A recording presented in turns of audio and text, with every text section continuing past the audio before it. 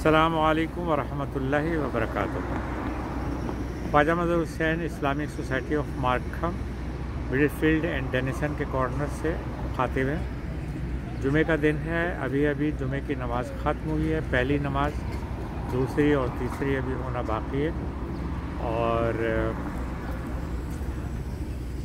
इन व या आमनु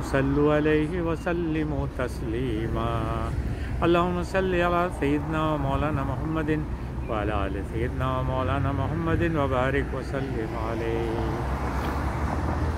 अल्लाह सुबहान व ताला और फरिश्ते हुजूर करम सल्लल्लाहु अलैहि वसल्लम के ऊपर दुरूद भेजते हैं ए मोमिनो तुम भी हुजूर करम सल्लल्लाहु अलैहि वसल्लम पर दुरूद भेजा करो सल्लल्लाहु अलैहि वसल्लम।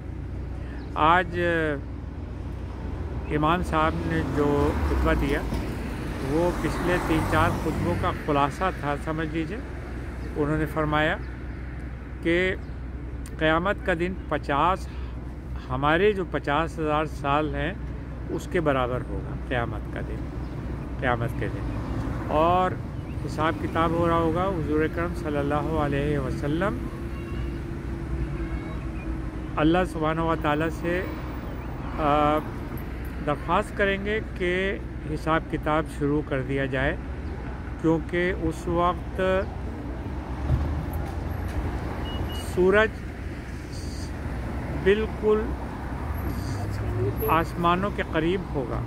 सूरज जो है वो लोगों के छत लोगों के सरों के ऊपर होगा। लोग जो है अपने आ, क्या कहना चाहिए अपने आ, पसीने में डूबे हुए होंगे।